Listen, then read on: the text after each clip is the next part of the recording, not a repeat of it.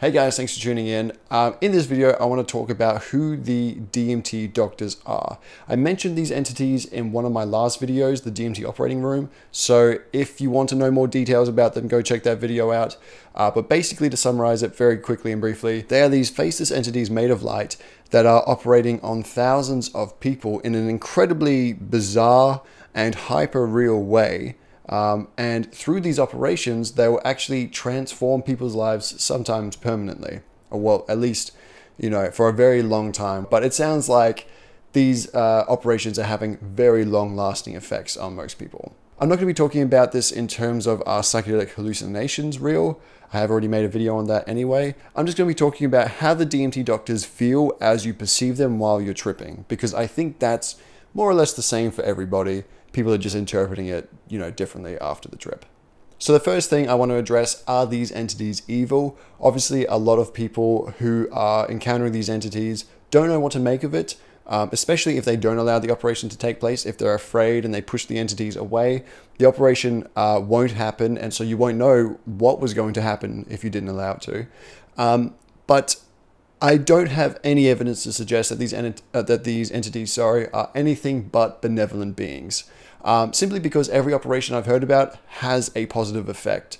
Um, every person who's been affected permanently by these DMT doctors uh, firsthand have reported being able to see all the negative patterns of behavior, and these operations have allowed these people to rewrite their negative patterns of behavior with something healthier. So, yeah, there's no reason why I think these entities are evil, but I can understand why people are afraid of these beings. We're naturally afraid of the unknown, and these entities are super mysterious. But not only that, we're often afraid of things that hold power over us because, you know, that's an element we can't control and not completely know. Um, and these entities always seem to have a position of dominance or seem to govern us in some way when we encounter them. Obviously, if you see them in the DMT operating room, they are, you know, performing some kind of operation directly molding you and and you know changing you. Um, so they have some sort of you know power in that way, and because they're hyper real, it also you know it's so mysterious and so frightening and scary. You have no idea what's going on. You're just at the whim of these entities who seem to know what's going on. They're just performing some kind of crazy operation, which feels like, you know, basically programming you for when you return into the matrix or the simulation or some shit like that.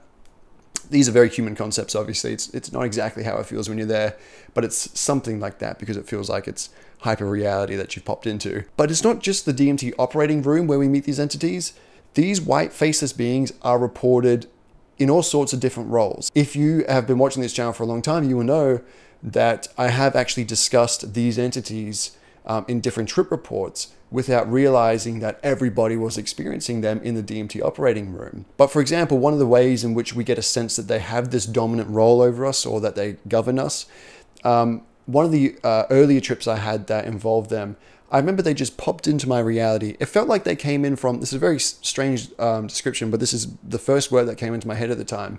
It felt like they entered my reality perpendicularly. What I mean by that is it feels like we abide by, you know, this linear time where there's a start and an end. But it felt like that these beings came from around uh, a realm, sorry, that did not abide by that same linear time perception. And so they had the ability to kind of just enter our reality at any point that they wished. It almost felt like our reality is a movie for these beings, like they are the audience. So they could pick, you know, whichever time in this reality uh, that they wanted to pop into and influence. And obviously, this is pretty full on and like alludes to how they kind of have more power over us because they seem aware of us even though we're not aware of them. But it does get uh, even more hectic than that. In one of my last trip reports, I was explaining how I had a vision of these entities literally controlling my neighbors. Um, I saw the faceless entities basically riding my neighbors or speaking to one another through my neighbors as if they were the vehicles for these entities to be able to inhabit this reality, as if we are like some kind of super advanced technology that enables them to experience what we experience. And again, guys, I know how crazy all of this sounds. Um, I wasn't told this sort of information during the trip. This is me just kind of trying to, while I'm tripping, rationalize what I'm seeing. Um, it's not necessarily my interpretation of, of what's going on here in reality, but I'm just trying to do my best to explain, you know, what you experience when you encounter these entities and why they are so intimidating and full on. Just to give you guys a, a sense of how full on it can get.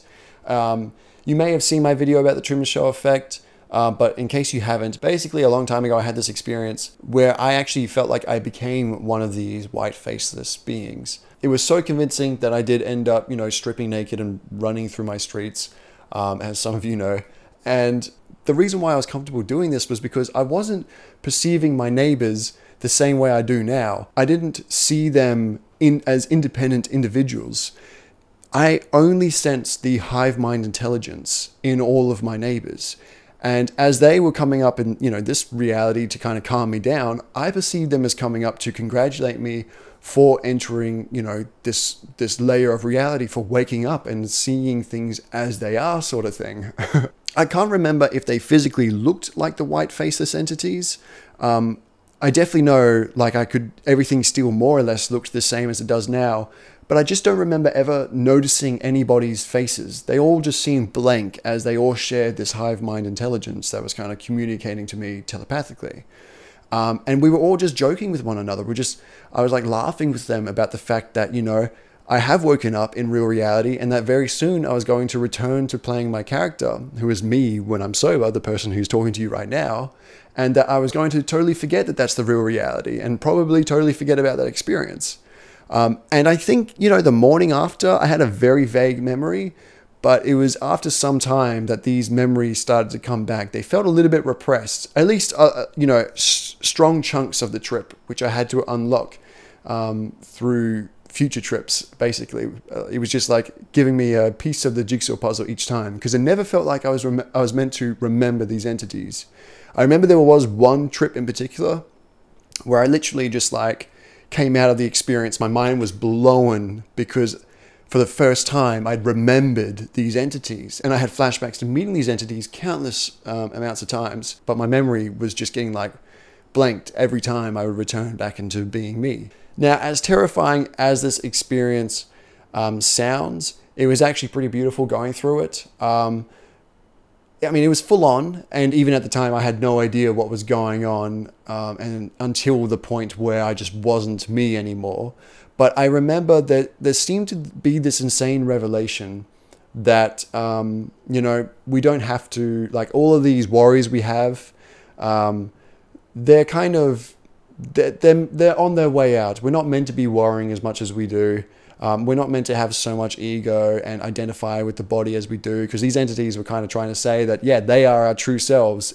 At the root of all of us, we have this hive mind intelligence. We share the same consciousness, the same soul, sort of thing.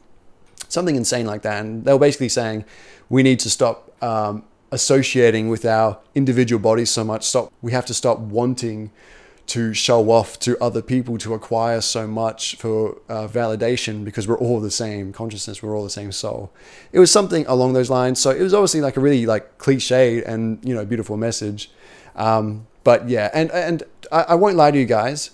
I did uh, in, integrate a lot of um, these experiences. And to me to question the authenticity of these experiences is to question my reality itself because um, in the same way that this reality, while we're sober, feels real, that reality feels realer. You know, when we go in a, we, we have a dream, there's no sense of that realness there. In this reality, there is this sense of continuity, this sense of, okay, you know, this is real. It just feels real. All of that sense of continuity and all that sense of, yeah, this feels real is heightened to the max when, when you're in these realms and when you meet these entities or become these entities. So I definitely integrate a lot of what I learned from here. I understand if you've never gone through this, how insane that makes me sound. I was like so strictly against any of these interpretations um, before I ever had these experiences, or especially before I did psychedelics. Um, so I totally, you know, can understand why I would sound insane to say that I actually don't just immediately dismiss these experiences. But basically, um, that's all I can really say in terms of who these entities are, um, without um, sharing my interpretations of who these entities are, what I've made sense of after the trip. Um, because, you know, I could say these guys, the, you know, the entities that created the matrix or the simulation that we're in. And I've had trips that kind of make me feel like that while I'm there. But that I would be lying and I'd be misleading you if I said that's what was getting explained to me while I was tripping because it's it's extremely hard to comprehend what I'm seeing and what I'm perceiving while I'm tripping. You know, the, the whole idea of us being in a simulation, as we understand it, it's very much based on our current technology. I'm sure in a thousand years, we'd have something else to compare ultimate reality with um, in terms of what technology is available to us. And so we'll be able to comprehend it in a totally different way. And that's why I don't want to make sense of these experiences. But one thing I can tell you is that I do believe these entities have a name. If you've been watching this channel, you know already you know what I've been referring to them as, and the name that they've been given is um, well the machine elves. That's that's who these entities are normally referred to um, as. There are you know countless reports online of the machine elves. I do think thousands upon thousands of people are experiencing these entities. But I also believe there's a lot of false reports out there because the name is quite misleading. I don't think it actually has much to do with their physical appearance. Um, you know, obviously, the way I've explained it has no similarities to machine elves, and even Terence McKenna himself once described these beings um, being made of light. So, you know, um, I, I don't know exactly why they are always referred to as the machine elves. Even me, when I came out of my trip, my DMT, uh, my first DMT breakthrough, where I met these entities, I was saying over and over that they are the machine elves. I'd heard about Terence McKenna's uh, trip reports of the machine elves. He's the guy who named them, of course. But um, yeah, they had no physical similarities to his descriptions. There just must have been something during the trip that made me feel like they were the same entities. But uh, yeah, I, I, might just refer to them as the faceless light beings or something like that from now on because I feel like Machine Elves distracts from who they really are and how it feels when you experience them. It cheapens the experience a lot because when you encounter the real Machine Elves, it's the most insane experience you can ever go through, in my opinion. Um, as Terence McKenna himself said, if aliens were to land right next to the Pentagon, it would have nowhere near the same like mind-blowing um, impact that meeting these entities on DMT would have on you because it's I, I, never thought this sort of experience was possible before I ever did psychedelics. I really didn't. But anyway, guys, I'm to leave it there. I could talk for hours about the machine elves, so I've got to stop at some point. Um, but if you did have, you know, more questions, I have made lots of videos in the past um, on the machine elves. Otherwise, feel free to ask ahead and I'll try and answer those questions in the future. I want to thank all my patrons for supporting this channel. Um, I appreciate it so much. And I'm really excited to be finally actually you know, creating more videos for Trip Whip because it's something I want to keep doing. So your support definitely means a lot to me. Uh, if you guys want to support this channel, feel free to check the link down in the comments below. Um, I'm hoping to start making some more like Patreon exclusive content in the future as well. Um, but otherwise, guys, hope you're having a freaking awesome day. If you're listening to the Machine Elves, there's obviously no reason not to have an awesome day, and I'll see you all soon.